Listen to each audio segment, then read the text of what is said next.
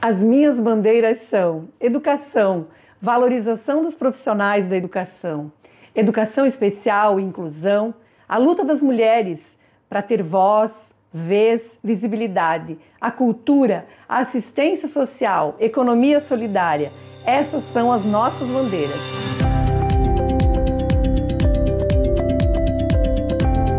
Sou a deputada estadual Luciane Carminati. Estou no quarto mandato como deputada. Sou do município de Chapecó, oeste de Santa Catarina, e defendo a educação, a valorização dos profissionais de educação, a cultura, a assistência social, a economia solidária e defendo com muito orgulho as mulheres, porque um país melhor precisa ser equilibrado e equilibrado é com vez, voz e participação das mulheres. Essas são as minhas bandeiras prioritárias.